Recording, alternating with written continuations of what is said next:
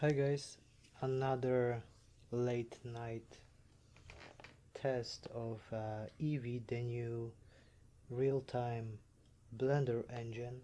As you can see I have a nice simple animations of uh, car parts scaling up and down. There is a camera move and there is a light that I can uh, possibly move if it works as I record. Come on. Grab it. Grab it. Oh my god. Why when I record it doesn't work? Great. Um, okay. If I manage, oh there we go, to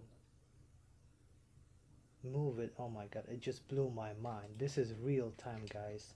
You know what it means. I don't have to repeat it.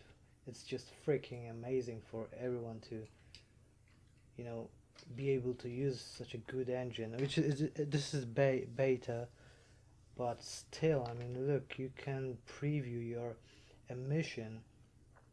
And you and uh, road textures are like 16k I think. I use the high res with bump maps. You know it's like easy uh, 30 fps on my old PC I mean, this is just incredible, guys. I mean, you, you guys, you, you guys know, like, th this is just freaking amazing when it comes out. It's just gonna blow the freaking industry away. Oh my god, I just had to share it.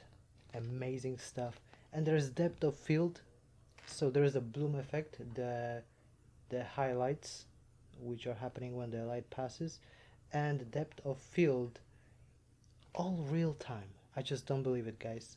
Hope you enjoyed this little preview and uh, see you in the next one. Bye.